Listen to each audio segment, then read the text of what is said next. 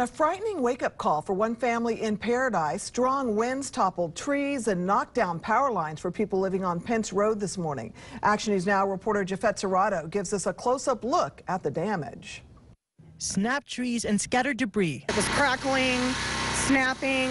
Jennifer Megard said her son alerted her that something was wrong early Monday morning. About 4 o'clock this morning, uh, my son got up to go to the bathroom and told me that he heard the power, something hit, flash, and the power line went down. A few minutes later, this pine tree snapped. Take a look at the damage here behind me. Strong winds knocked the tree down, tearing a hole in the wall of this garage. A closer call from Megard's son.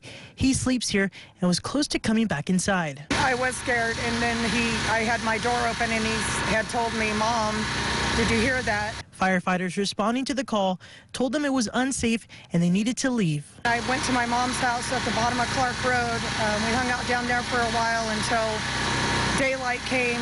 Part of this tree blew over and went into uh, by the mailbox. Megard may be dealing with some inconvenience, but is thankful no one got hurt.